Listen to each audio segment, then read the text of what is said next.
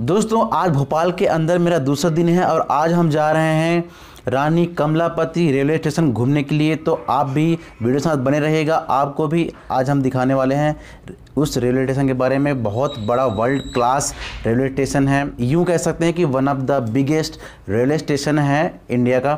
तो इसके बारे में और भी बहुत सारी बातें हैं जो सीधे आपको रास्ते में चलते चलते या फिर स्टेशन पहुँच कर बताने वाला हूँ। तो अभी क्या है कि हमारे पास कोई साधन है नहीं तो अभी हम जाएँगे बाहर, ऑटो या बस वगैरह जो भी मिलता है तो उसमें ही हम लोग रेलवे स्टेशन जाने वाले हैं। तो आप जो है वीडियो साथ कंटिन्यू बने रहिएगा।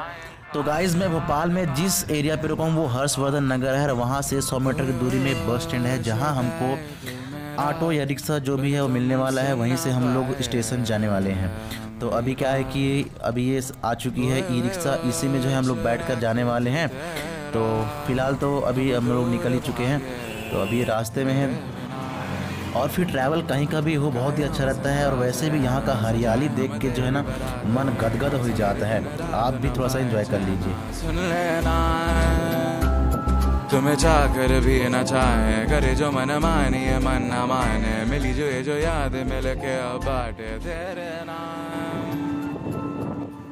तो गाइस पूरे आधे घंटे बाद फाइनली हम स्टेशन पहुँच ही गए।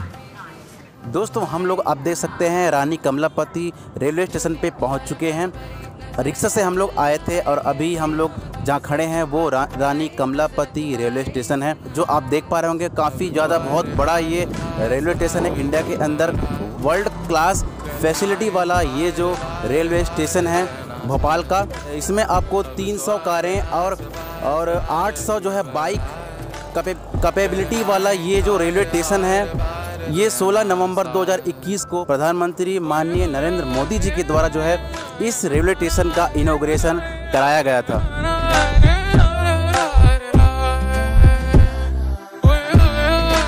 दोस्तों ये जो स्टेशन है रानी कमलापति पहले इसका नाम हबीबगंज हुआ करता था बाद में इसे जो है मॉडिफाई करके रीडेवलपमेंट प्रोजेक्ट के तहत जो है इसको डेवलप करके आ, अभी इस आ, अभी जो है वर्ल्ड क्लास फैसिलिटी वाला रेलवे स्टेशन बनाया गया है जो रानी कमलापति जो गोड़ वंश की जो रानी थी उनकी सम्मान में जो है इस स्टेशन का नाम रानी कमलापति स्टेशन रखा गया है। दोस्तों आपको बता दूँ कि ये जो स्टेशन है ना ईपीआई सिस्टम को जो है इम्पोर्टेंट दिया गया है। मतलब एवरी पर्सन यहाँ पे इम्पोर्टेंट है। यहाँ पे कोई वीआईपी ऐसा कोई वीआईपी रूम या कोई चैम्बर नहीं है। यहाँ हर कमरा जो है वीआईपी दर्ज पे बनाया गया है। हर आम व्यक्ति यहाँ पे वीआईपी जैसा उनके साथ बिहेव किया जा रहा है। उन, उनको वीआईपी फैसिलिटी यहाँ पे मिलती है। तो अभी हम जाएँगे अंदर और आपको हर एक कोना हर एक चीज़ हर एक फैसिलिटी जो है दिखाने वाले हैं। इसलिए आप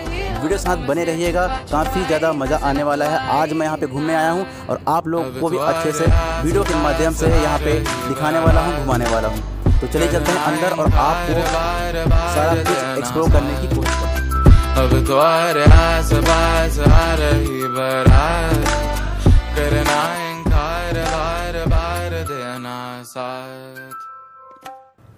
जैसे ही आप अंदर इंटर करते हैं एक बड़ी एलईडी सामने दिखाई देती है जहाँ पे इंफॉर्मेशन दिया जाता है।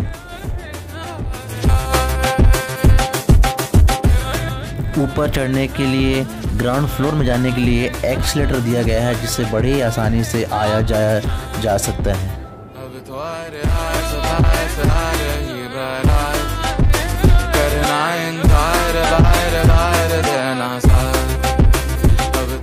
जैसे ही आप इन सीढ़ियों और एक्सलेटर की हेल्प से ऊपर आते हैं तो आपको एक बड़ी सी हॉल दिखाई देती है, जहाँ जहाँ पर बैठने की उत्तम व्यवस्था होती है। अगर ट्रेन लेट है तो यहाँ पे बड़ी आराम से जो है टाइम स्पेंड किया जा सकता है। बच्चों की खेलने की व्यवस्था है, टॉय व्हीकल्स है, जिसके हेल्प से टाइम काफ़ी अच्छे से बीत जाता है और ट्रेन का वेट आप आसानी से कर सकते हैं। दोस्तों, अभी मैं जो है रानी कमलापति का ये जो रेलवे स्टेशन है तो यहाँ पे मैं हॉल में आ गया हूँ, जो कि बहुत ही बड़ा हॉल है। जैसे ही आप इस स्टेशन पे विज़िट करेंगे, जैसे ही अंदर आप घुसेंगे, आपको एकदम हवाई अड्डे की तरह फीलिंग आती है। इतना बड़ा जो है ये रेलवे स्टेशन है यहाँ पे। काफ़ी बहुत ही अच्छा देखने में लगता है। यहाँ पे सफ़ाई का इतना ज़्यादा ध्यान दिया जाता है कि आप जब आएँगे, विज़िट करेंगे, तभी आपको जो है पता चलेगा, भोपाल के अंदर ये विकास देखकर जो है मन खुश हो जाता है, मन मोहित हो जाता है।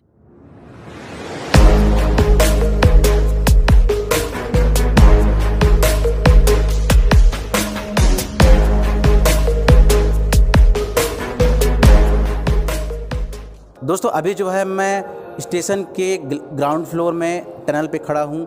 आमतौर पर आप देखेंगे कि जो बाकी रेलवे स्टेशन है हमारे इंडिया के अंदर, वहाँ पे आपको ओवरब्रिज दिखाई देगा। यहाँ पे ओवरब्रिज तो है, लेकिन साथ में टनल भी है, जो अंडरग्राउंड है और इसमें बहुत सारे जो प्लेटफॉर्म है, वहाँ पे जाके खुलता है। एग्जिट पॉइंट वगैरह सब कुछ इसमें प्रॉपर दिया हुआ है। इसमें आपको आने जाने के लिए व्हीकल भी है, जिसके हेल्प से आप बड़ी आसानी से आ जा सकते हैं और देखने में भी काफ़ी अच्छा लगता है ये चीज़। काफ़ी सिक्योर है तो बहुत ही अच्छा लगा यहाँ घूम के। आपको भी, आई होप अच्छा ही लगा होगा। तो अभी आप देखिए थोड़ा सा यहाँ का लोकेशन कैसा है?